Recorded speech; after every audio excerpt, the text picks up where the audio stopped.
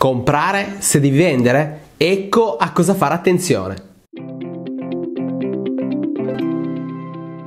Ciao, sono Ernesto Palano, consulente immobiliare.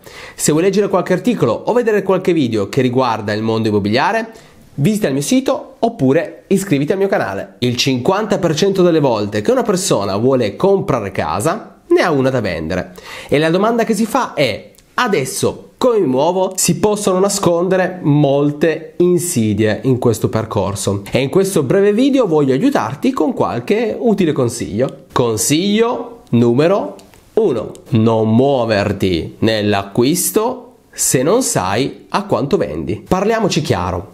Cosa compri se non sai a quanto vendi la tua casa? Vai a vedere case da 200.000 euro oppure da 100.000 euro? Fai 150.000 euro di mutuo oppure ne fai 100.000? Tutte queste differenze non mi sembrano una cosa da poco. Cosa ne pensi? Fatevi fare una valutazione reale e professionale della vostra casa prima di mettervi alla ricerca del nuovo immobile. Se poi decidi di mettere in vendita prima di cercare la nuova casa non sarebbe male, ma qui lascio a voi l'ardua decisione. Consiglio numero 2.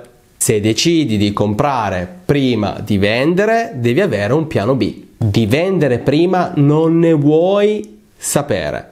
Mica vorrai finire sotto i ponti. E se poi vendi e non trovi?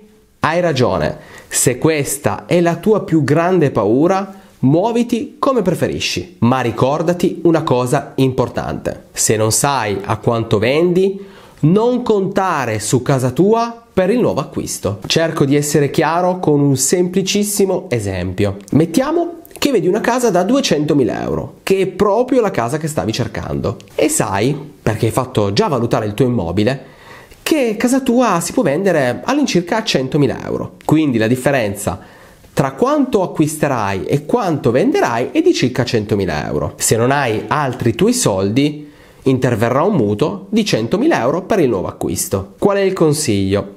Quando ti avvicinerai alla possibilità di fare un'offerta per questa casa, metti in conto che casa tua la venderai non a 100.000 euro come pensavi o come ti era stata valutata, ma che la venderai a 70.000 euro. Quindi dovrai essere pronto ad aggiungere questi 30.000 euro di differenza che non ti aspettavi. Il problema nasce se non sai dove trovarli. E quindi, per fortuna che hai visto questo video e ti sei fermato prima.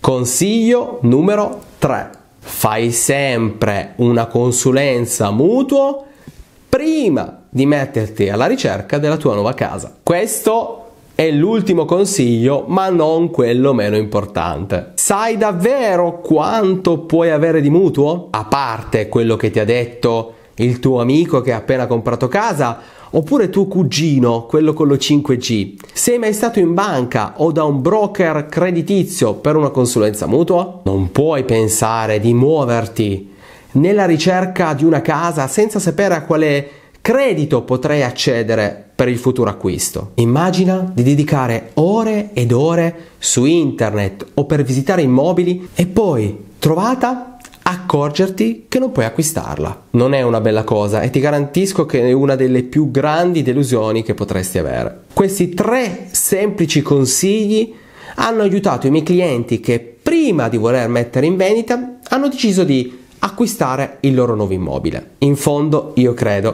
che un bravo consulente immobiliare serva proprio a questo, a comprare e vendere casa in totale serenità